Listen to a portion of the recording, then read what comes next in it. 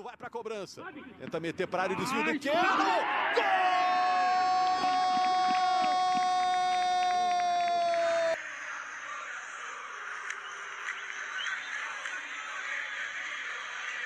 Também por lá, vem a cobrança, o desvio. Tentou o Amarildo, foi prensado na sequência, batida pro! Gol!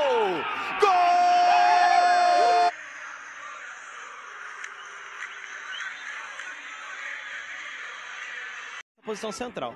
Tonini tomou a bola, avançou, limpou para bater dali! Gol!